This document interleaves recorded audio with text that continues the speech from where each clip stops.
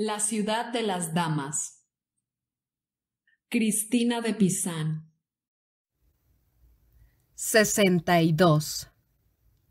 Cristina toma la palabra y derechura le contesta refutando a quienes pretenden que las mujeres seducen a los hombres con su coquetería. Yo, Cristina, dije entonces, Ciertamente, señora, volviendo a lo que antes contestáis, veo que las mujeres avisadas hacen bien en evitar los engaños de la pasión amorosa, que tantos estragos pueden causar en sus vidas. Pero dicen algunos que muchas tienen la culpa porque, engalanándose con ricos atavíos, solo buscan coquetear y seducir a los hombres. Querida Cristina, me contestó, no voy a disculpar el excesivo lujo de las mujeres frívolas que solo se preocupan por su elegancia.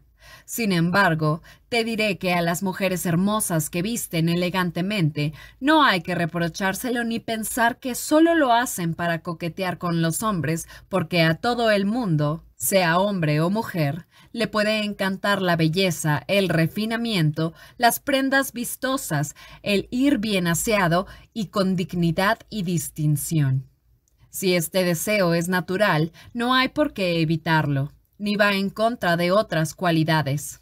Así, el apóstol Bartolomeo, que era un gentil hombre, siempre llevó atuendos de seda bordada ribeteados con piedras preciosas, pese a que predicara Cristo la pobreza porque vestir lujosamente, con ostentación, diríamos, de otro, para él era lo normal. Sin embargo, dicen algunos que por ello murió martirizado y desollado. Pero yo creo que nadie debe juzgar las intenciones según el hábito o la forma de vestir, porque solo Dios puede juzgar a sus criaturas. Ahora te daré algunos ejemplos al respecto.